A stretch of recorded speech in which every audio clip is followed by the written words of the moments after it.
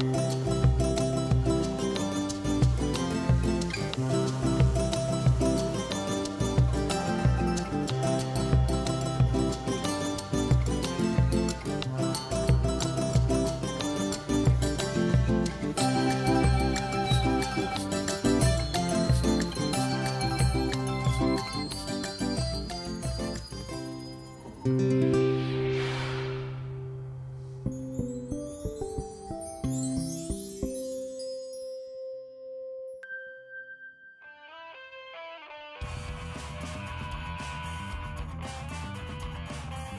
Hola, ¿cómo están? Bienvenidos a NotiU, el noticiero que te reúne toda la información de nuestras universidades públicas. Hoy las noticias llegan de todo el país, así que tenemos un noticiero muy, muy, muy federal. Quédate ahí que vamos a los títulos y enseguida arrancamos con esto que es NotiU. Te contamos toda la actualidad de las universidades públicas del país. Los títulos son... Realizan Consejo Permanente de Decanos de Facultades de Derecho.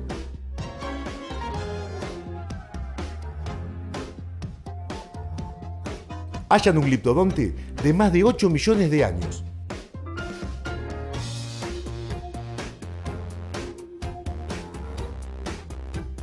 Dan inicio a la segunda etapa del Hospital Escuela de Odontología.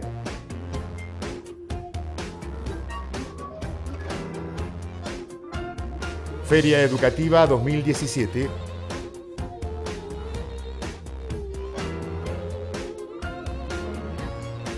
doctor honoris causa para Estela de Carlotto.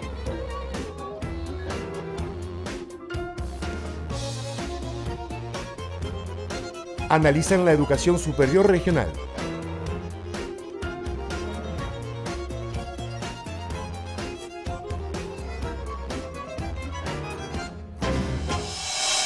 Arrancamos desde la Universidad Nacional de Avellaneda porque fue sede del Consejo Permanente de Decanos de Facultades de Derecho de Universidades Nacionales.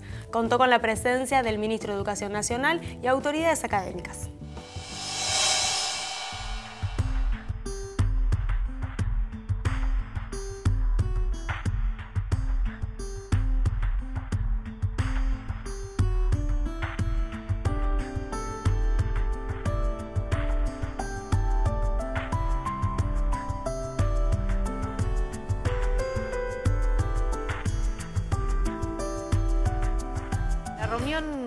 Consejos decanos siempre son de máxima utilidad. La presencia de Alejandro Finocchiaro descontractura también el, el encuentro y fundamentalmente este mensaje, la idea de que vamos a transitar juntos el camino de, de la acreditación de las carreras de Derecho, es muy tranquilizador para, para, los decanos, para los rectores y también para el ministerio, eh, la posibilidad de ir sorteando las dificultades que aparezcan en una acreditación que por supuesto es muy importante para, para, las universidades, para el sistema universitario en su conjunto y para el ministerio. Tanto la Secretaria de Políticas Universitarias como el señor ministro nos dieron un panorama claro de lo que piensan, de cuáles son las líneas de acción que, que tienen no solamente para la carrera de Derecho, sino para el funcionamiento de las universidades en general y fueron satisfactorios en cuanto a muchos de los planteos, reclamos o preguntas que le hicimos respecto al proceso de acreditación y a la política en general.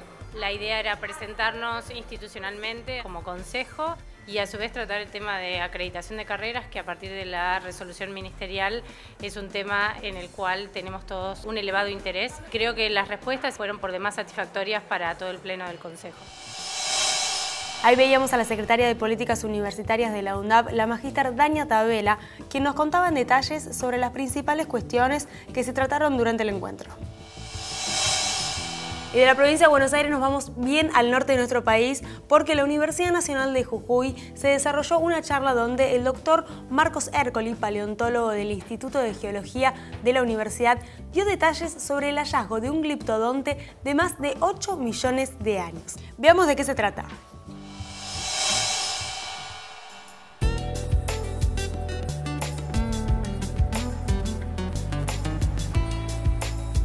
Semana largo, estuvimos eh, prospectando, digamos, explorando eh, los afloramientos de, de la ribera del río, del río, Chico. Y bueno, estamos en un proyecto en verdad que, que tiene como objetivo eh, entender la geología y la paleontología de, los valles de Jujuy. Y bueno, en, esa, esas exploraciones que hacemos vamos tomando nota y realizando lo que se llama un perfil geológico, que, que lo que hace es describir en detalle todos los afloramientos de rocas, que son rocas sedimentarias las que afloran acá. Y bueno, y en la búsqueda somos un grupo de dos geólogos y dos paleontólogos. vamos también prestando atención a la posible aparición de, de restos fósiles. Y bueno, así simplemente una de las campañas, ya creo que es la quinta, encontramos asomando en un banco de arenisca el corte transversal de, un caparazón de un gliptodonte. Hay un registro anterior de fósiles para el río Chico eh, que yo conozca de vertebrados, que es justamente otro gliptodonte que fue encontrado en 1978 eh, por un grupo de, geólogos y que en este momento se encuentra en Salta el material. El, resto que nosotros encontramos se encuentra entre el puente rojo y, el puente de la, de la, autopista, de la ruta 9, y el otro se había encontrado pasando la ruta 9 río arriba, en una zona de bañados. En el afloramiento entonces eh, encontramos eh, los restos de, un gliptodonte en corte, transversal. Eh, el animal se encontraba aplastado lateralmente, comprimido por, seguramente por la presión del sedimento y fracturado en varias partes. Y, bueno, la arenisca misma también tenía grietas en relación a la erosión y la actividad de las, plantas, las raíces. Y bueno, lo que se ve acá son fragmentos de placa de, este animal que encontramos serían, eh, estas dos serían el sector anterior y, ventral del animal y este fragmento eh, representa una parte de, la parte del caparazón dorsal. La arenisca se fracturó en grandes bloques y bueno, lo intentamos recuperar eh, de la mejor forma posible y lo tenemos en, grandes bloques, digamos, estas son las partes sueltas que quedaron, el bochón principal, todavía lo tenemos envuelto para trabajarlo con cuidado y, y armarlo de la mejor forma posible. El hallazgo se produjo en una de las barrancas del río Sibisibi, uno de los dos ríos que atraviesa el centro de San Salvador de Jujuy, capital de la provincia. En la misma zona se encontró en la década del 70 otro ejemplar de similares características. Y de Jujuy nos vamos a la provincia de Río Negro porque la Universidad Nacional de Río Negro anunció el inicio de la segunda etapa del Hospital Escuela de Odontología, de la sede Alto Valle y Valle Medio.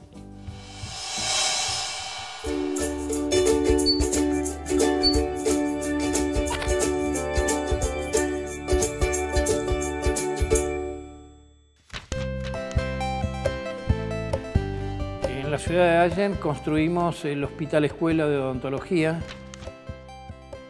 y como en toda la universidad teníamos carencias de aulas. La situación es bastante precaria. Damos clase en la Escuela de Enfermería, un edificio de la provincia que nos informaron dos años atrás que se iba a demoler.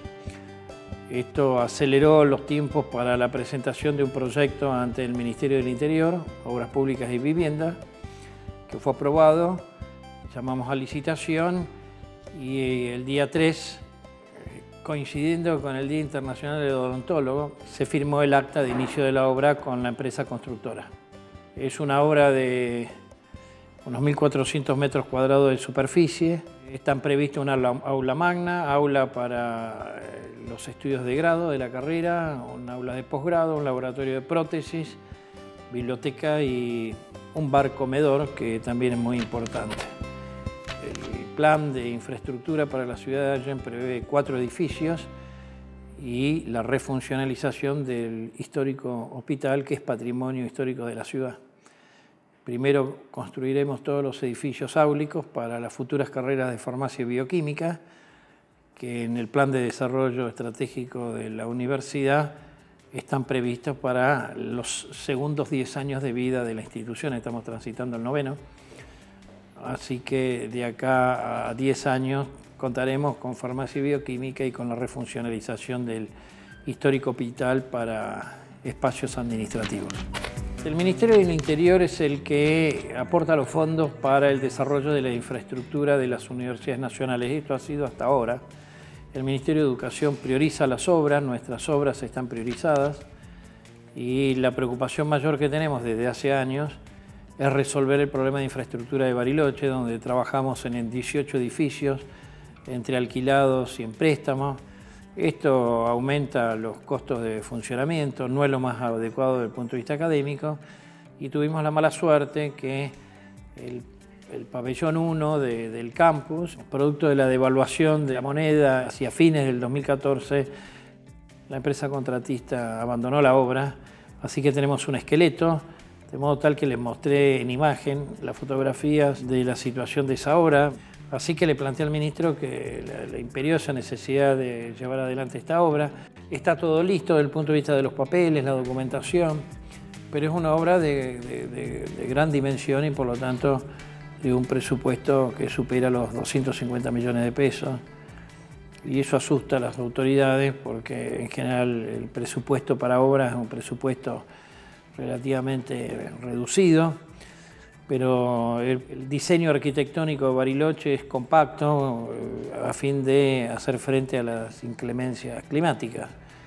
Entonces no es un campus con múltiples edificios, sino con pocos edificios de una manera compacta y articulados o integrados unos con otros. Pero bueno, Todavía no tenemos solución y, yo no puedo dejar pasar la oportunidad como responsable de la institución de reclamarle al ministro el financiamiento necesario para ejecutar estas obras que han sido priorizadas por el ministro de Educación de la Nación. Con una superficie aproximada de 1.400 metros cuadrados, el nuevo edificio del Hospital Escuela de Odontología contará con un aula magna, aulas estándar y de posgrado, una biblioteca y un comedor. El plazo de ejecución de la obra es de 420 días, estimándose su finalización para fines de noviembre de 2018. Nos vamos un pequeño corte y enseguida regresamos aquí en NotiU con toda la información de nuestras universidades públicas.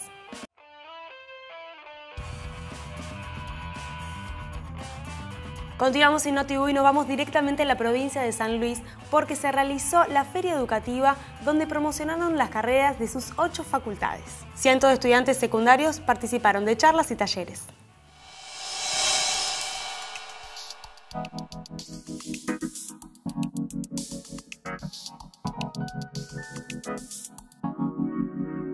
Mucha información a través de la página de internet de la, facultad y, y es como, no sé, bastante extensa la, el nivel de carreras que hay en esta universidad específicamente.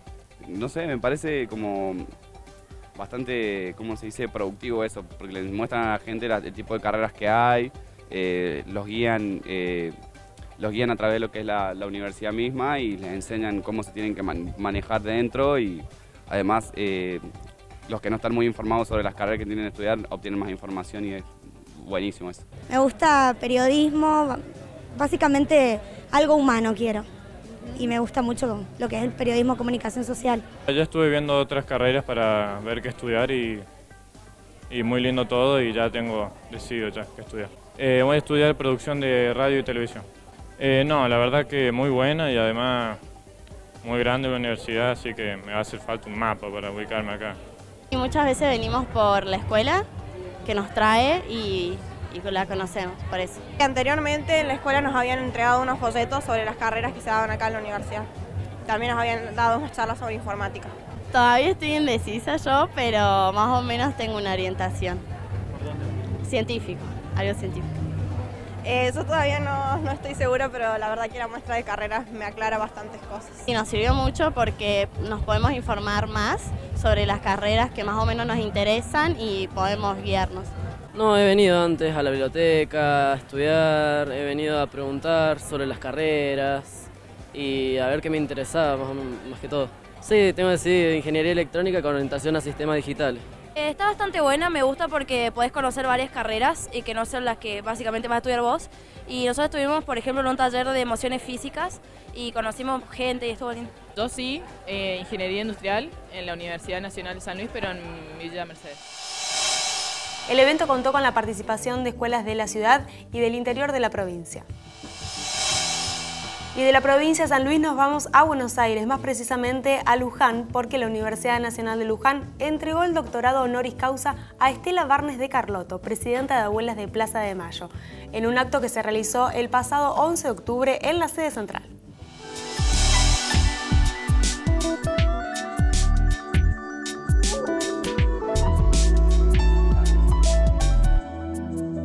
Bueno, para mí es emocionante realmente el estar acá con ustedes, entrar por primera vez en este ámbito de estudio, de, progreso eh, y encontrarme con gente ya conocida y otros nuevos amigos que se hacen siempre cuando se cuenta la historia de 40 años de lucha de nuestra institución, ¿no?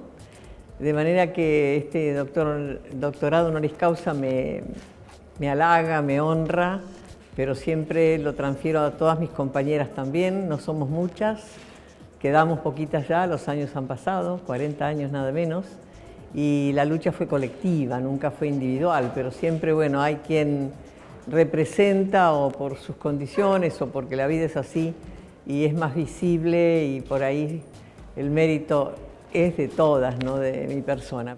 Estamos en difíciles instantes en nuestra, en nuestra patria y defender los derechos humanos cuesta mucho más cada día y este mimo, este cariño, esta comprensión es un alimento para esta lucha, nos hace bien, nos, nos, nos empuja a saber que no estamos solas.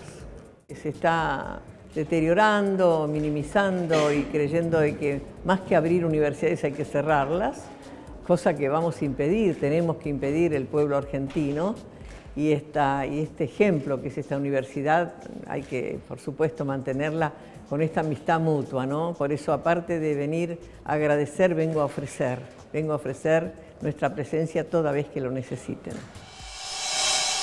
El reconocimiento a la titular de abuelas con el máximo título honorífico fue propuesto por la Asociación de Trabajadores de la Universidad Atullu. Y ahora nos vamos a las sierras cordobesas porque la Universidad de Río Cuarto organizó una convocatoria de cara a la Conferencia Regional de Educación Superior para América Latina y el Caribe. Tendrá lugar en el mes de junio de 2018.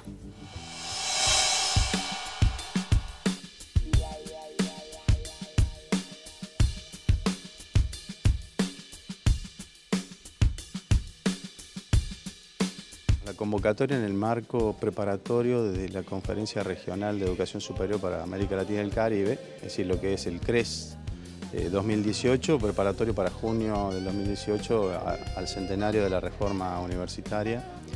Y en una serie de eventos que se van a realizar en junio, además de trabajar sobre la base de un documento con eh, digamos, los lineamientos de, de las conferencias regionales que ya se han hecho hace 10 años, en el año 2008, y la idea es trabajar bueno, sobre esos documentos, trabajar sobre los lineamientos generales del documento eh, y existen una serie de, puntos a considerar, de los cuales han sido establecidos en, el CIN eh, y de alguna manera derivados a que eh, en el marco de cada reunión de los CEPRES, hacer previo una reunión en el marco de CRES como para convocar a la comunidad universitaria a trabajar sobre la base de estos lineamientos, discutir algunos documentos que justamente vamos a tener al coordinador general de la CRES 2018, que es el doctor Francisco Tamari. La idea es justamente con él que un poco le explique a, los asistentes de qué manera se está trabajando en el marco de esta CRES, cuáles serían las posibilidades que está teniendo la, comunidad de trabajar algunos documentos sobre algunos lineamientos en particular y eventualmente después trabajar en un documento final que tendría que estar eh, de alguna manera finalizado para junio del año que viene. Lo más importante de la CRES no es el momento específico de la conferencia, sin querer minimizarlo, sino cómo nos preparamos para ese debate, porque es un debate extremadamente complejo y el objetivo es difícil de lograr, es un consenso sobre algunos aspectos esenciales de la educación superior. Y nos estamos preparando organizando discusiones por región. Van a estar representadas todas las universidades públicas y privadas de la región centro de estas tres provincias. Y nos ha tocado a nosotros la misión de analizar el problema de la educación superior en su aspecto más global, un poco asumir cuáles son los desafíos que como sistema tenemos de cara al próximo diseño, cómo podemos ajustarnos a los objetivos de sostenibilidad que ha fijado la UNESCO, entre los cuales la educación es fundamental, y también reflexionar sobre el hecho significativo de celebrar el año que viene los 100 años de la reforma y poder en algún sentido parar, reflexionar sobre qué ha significado la reforma, cómo ha evolucionado el sistema de educación superior y buscar instrumentos que nos permitan alcanzar el objetivo de integrar al sistema de educación superior de América Latina y el Caribe. Estas cumbres que se dan cada 10 años son los eventos más importantes en educación superior. Las instituciones de educación superior juegan un papel importantísimo en el desarrollo de los pueblos, ¿no? Y eso implica no solamente los acuerdos y los documentos y los debates que producimos entre las propias instituciones, sino la vinculación de estas instituciones con el medio. ¿no? Hay una sinergia propia entre las instituciones educativas y los medios en que éstas se insertan. Eh, las cumbres regionales para los países de habla hispana, para América Latina, son como un motor de impulso para nuevos programas de desarrollo que, que se proveen para la región cada 10 años. ¿no? Y en este análisis de la educación superior, ¿cuáles son algunos de los ejes que se han establecido como prioritarios para el debate? En principio, el desafío de tener un mundo que cambia cada vez más rápido, el desafío uh, de un conocimiento que se vuelve obsoleto con una velocidad extraordinaria, de manera que me parece que el principal propósito es que este nivel, que es el de los más altos estudios, pueda ponerse al tanto del el futuro. Un mundo que se acelera, un conocimiento que prolifera y que nosotros necesitamos de alguna manera poner al alcance de la mayor cantidad posible de población. El rector de la Universidad, Roberto Rovere, nos explicaba en detalle cuáles serán los eventos que se realizarán el próximo año teniendo en cuenta además que se cumplirán los 100 años de la reforma universitaria. Hasta aquí llegamos con el Notivo, el noticiero de la RENAU, la Red Nacional Audiovisual Universitaria. Nos reencontramos la próxima con mucha más información de nuestras universidades públicas.